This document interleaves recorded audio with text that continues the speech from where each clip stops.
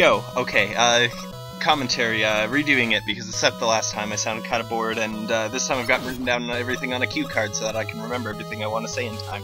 Alright, so in the spirit of the competition, uh, I'd really, uh, in future submissions, I'll probably uh, not aim so much for first place. I'll probably just uh, just make like one or two uh, attempts and submit something that would be more interesting, I think, and more in line with the spirit of the competition. There, I kind of fall off the ladder and then uh, shoot because it saves just a little bit of a moment, and uh, that allows me to get to the top without shooting the third enemy, which is just slightly faster. It would also save some time in the other two rooms with those guys, but uh, it's kind of inconsistent. So uh, I look at the floor when I'm doing that, uh, and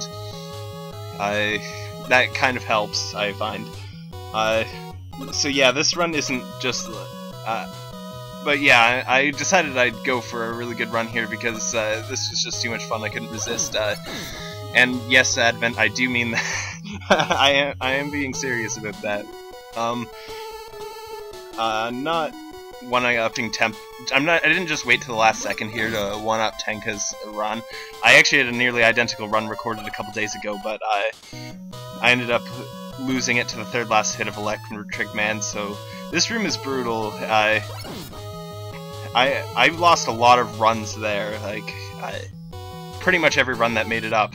Well, pretty much meaning every run except this one and the other one that I mentioned failed.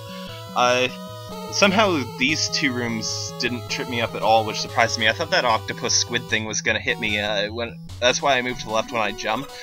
I but he jumped clear over my head, so that works too. Um, what else do I want to say? Yeah, this room's kind of easy. This next guy up here, he's kind of ironic, because normally things uh, tend to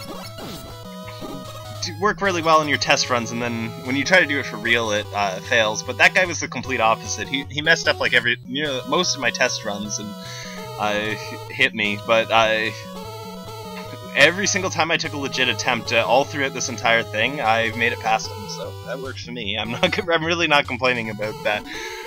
I'd much prefer things mess me up my test runs. Usually nerves that kind of do the opposite thing there, but I'm not sure why it just happened to work out every single time. Probably because I didn't make it up there all that often. Alright, Electric Man, this strategy is kind of hilarious actually, because you'll see.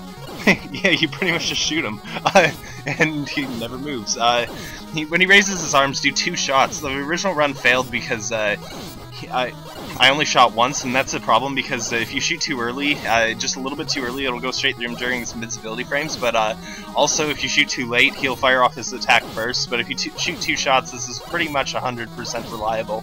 So, uh, yeah, it's not too hard. Uh, commentary over, uh, goodbye.